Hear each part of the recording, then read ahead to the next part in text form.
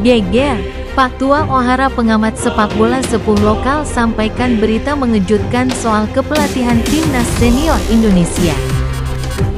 Pengamat sepuh tersebut sampaikan harapannya kepada Ketua PSSI Erick Thohir untuk segera mengganti Sintayong. Sintayong dianggap gagal meramu timnas Indonesia yang bermaterikan naturalisasi Eropa. Ini sangat merugikan ujar Pak Tua Ohara. Gaya permainan yang di skema Tayong tidak cocok dengan karakter pemain. Untuk itu Pak Tua Ohara mengusulkan pada Erick Thohir nama mantan pemain timnas Belanda serta Manchester United Ruud van Nistelrooy sebagai pengganti Sintayong.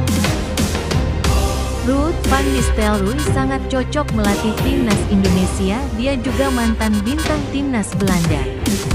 Ruud van Nistelrooy sangat memahami karakter pemain Indonesia yang sebagian besar naturalisasi dari Belanda sendiri. Pak Tua Ohara sangat yakin timnas Indonesia akan kuat di tangan Ruud van Nistelrooy. Bagaimana menurut kalian?